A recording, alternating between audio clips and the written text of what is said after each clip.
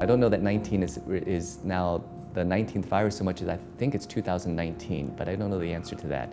But it is now, uh, so in terms of the naming of the disease, it comes from the family of coronaviruses, uh, which is a family name, and it's the corona means wreath or uh, crown. And so it has protein spikes on it that uh, is similar to the SARS virus and the MERS virus from before. And so they all belong to that coronavirus family. Uh, so what has happened is, you know, there's a body uh, between the, some international taxonomy body and the WHO that has agreed, you know, there's, there's a name that we should give to it. So the, the proper name for it in scientific terms is the SARS-CoV-2 virus. Um, just like we say there's the HIV virus. And the HIV virus a, uh, causes AIDS, which is the actual disease.